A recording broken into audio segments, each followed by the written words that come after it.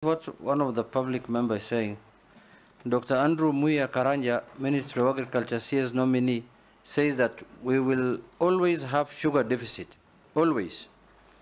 Isn't there a government policy that will become self, that we become self-sufficient across all sectors in agriculture?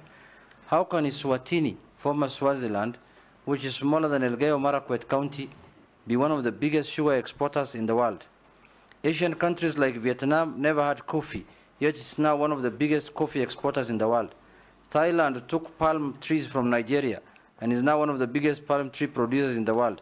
Problem of Kenya is total absence of initiative to change the status quo. Why then be a minister of agriculture if you believe that you will always be importers of sugar? And the rest I don't want to say. Then he said, he told you he, uh, how can he actually say we will always be import, uh, sugar importers?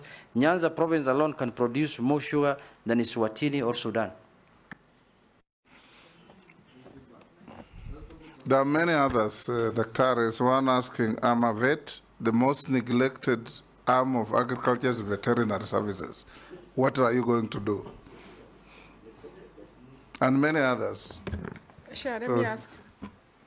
Yes, um, Mukami? Yeah, there's another one. We, uh, we have a weakness in the sale of coffee at NNC, which allows the buyers to offer prices below the reserve price to force a negotiation with co-farmers outside the trading for, for 24 hours. This is a practice every auction day. What are you going to do about it? You can respond to those. Thank you, thank you, Mr. Speaker, sir. Uh, on uh, Honorable Junet is uh, to say, if I implied that we always have uh, deficit, uh, it's, that is not my intention.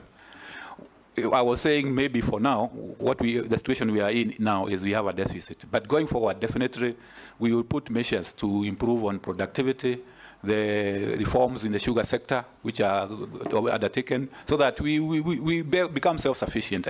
I'm sure we can be able to, to get self-sufficiency. So if it is, it was construed like that, then it, it is, uh, it was, uh, uh, that is not what I meant. The, the issue about uh, uh, the coffee, the cartels, and the corroding in prices. You already said you'll dismantle them. Yeah, I'll dismantle them. Yes.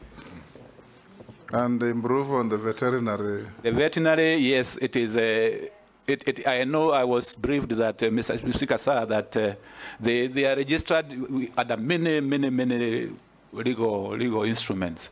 So we are going to, uh, if I am approved, we are going to work with them to see that uh, they, because they are very critical. Uh, veterinary service is very critical, especially on the, uh, on the livestock side.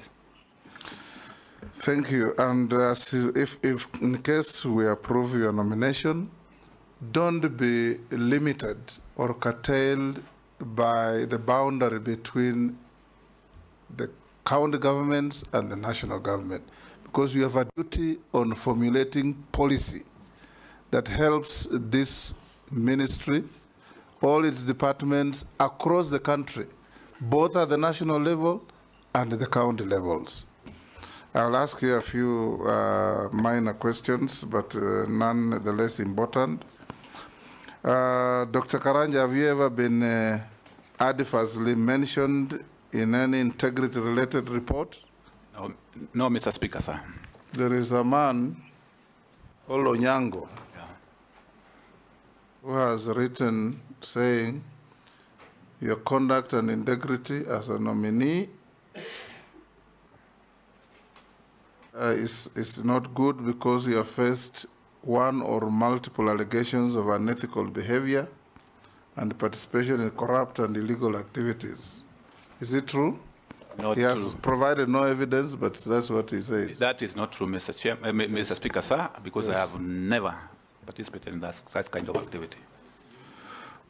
Do you hold any leadership position in any political party No, Mr. Speaker, within sir. Kenya? No, Mr. Speaker, sir. What is your net worth? My net worth is 214 million shillings, Yes, made out of, made up of um, my my residence, my family residences. Uh, we have uh, uh, apartments. I have uh, vehicles. We have plots and land. I have deposits in a bank's account. Okay. Yesterday, we had five candidates. We asked them many questions, ending with this minor question on their net worth.